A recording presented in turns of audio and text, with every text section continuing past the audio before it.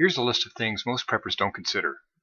Many preppers focus only on their pet catastrophes such as pole shifting, a giant asteroid, or a plague. Just see the Doomsday Preppers show. However, you need to be prepared for any catastrophe. It's a fact that you can't be prepared for long-term catastrophe without being a multimillionaire or spending all your time on it. Eventually, the stored food and water will run out. Most preppers will store things, but few take the time to learn necessary skills like using a rain barrel and gardening. Storing all of your survival stuff in one place is putting all your eggs in one basket. Instead, hide your stuff in various locations in many rooms. Most survivalists haven't considered the effect their appearance will have when bugging out. They want to look their best.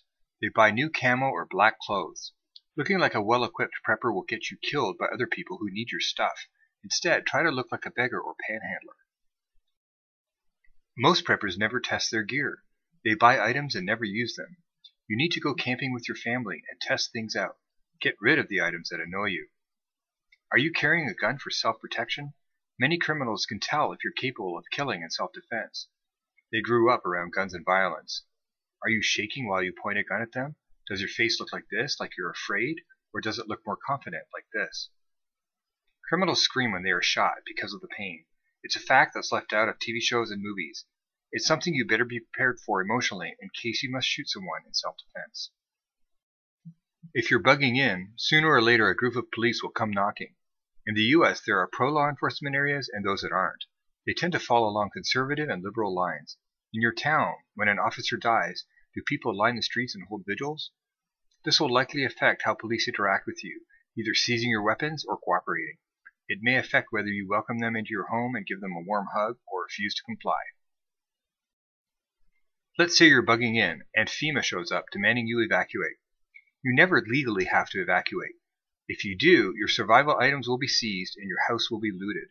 You'll have no privacy, unable to leave, and dependent on the government to feed you. For people who are disabled, injured, elderly, or not prepared, you may be better off there. Anyway, you will be in a camp with many people, surrounded by armed guards and concertina wire. Bring your toothbrush. In a long-term major catastrophe, the people in first world countries will have a very hard time because they aren't used to lack.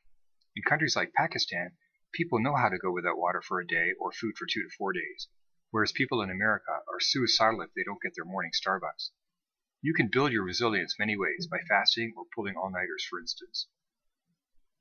Some of the above tips were inspired by this book by Joseph Terry. I hope you learned something new. Not, I am planning to make a part 2 with more tips. If you learned something, please hit like. Thank you for watching.